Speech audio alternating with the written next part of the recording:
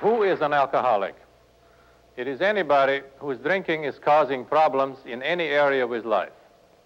Let's trace the natural course of this disease by using myself as a hypothetical example. Let's assume Joe Persh is an alcoholic. Let's further assume that I am a valued and valuable employee in American industry. I could be anybody from the chairman of the board to a worker on the production line. Let's say in this case that I'm an executive and a design engineer. Let's go back to the days when I first joined this company as a young engineer. Every Wednesday, I would have two scotch and sodas with my fellow engineer, Bob Smith, until I discovered that Friday is happy hour too. So I'd start getting high on Wednesday with Bob and on Friday with Dave. And on Saturday mornings, when it was time to mow the lawn, I set a cold can of beer on the front step. And as I take a swig with every pass of the lawnmower, I hear my neighbor say to his wife, Look, there's Joe Persh mowing his lawn. Look how he's sweating. No wonder he's having a beer. A man who works that hard deserves a beer. So I become a devout lawnmower.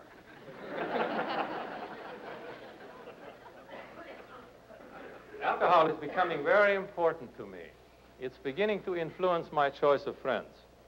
One day, when I'm on my fourth scotch and soda, my friend Bob leaves his first beer unfinished and goes off to a PTA meeting. That embarrasses me but I quickly get into a conversation with some of the regulars at that happy hour bar, guys who have their own happy hour every day. Now, they're not engineers, but they, they tell sea stories and they drink a lot, and we really get along and we like each other. A long time later, I hear that Bob Smith was transferred four months ago, and I never even noticed. Because you see, all of my friends drink a lot. I've grown away from my non-drinking friends. Now, personally, I consider myself still a social drinker.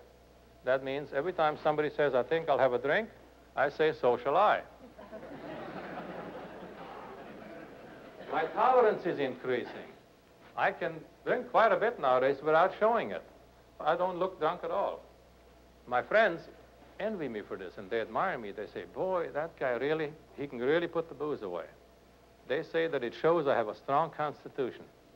What it really means clinically is that I'm beginning to develop the first sign of addiction which is tolerance.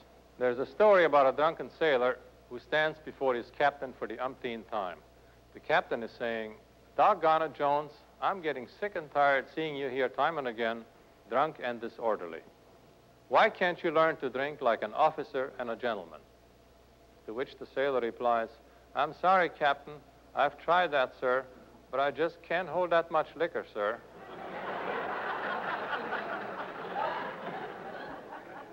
And then one day, I have a blackout.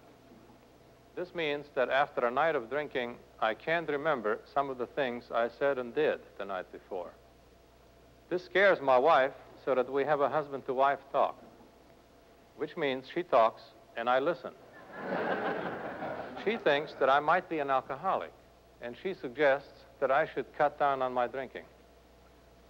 To get her off my back, I go on 30 days of being on the wagon.